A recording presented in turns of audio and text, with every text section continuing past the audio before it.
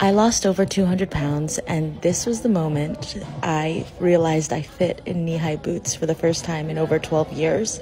I'm still in the store right now, and I'm so emotional I can't even leave. Um, I just wanted to share.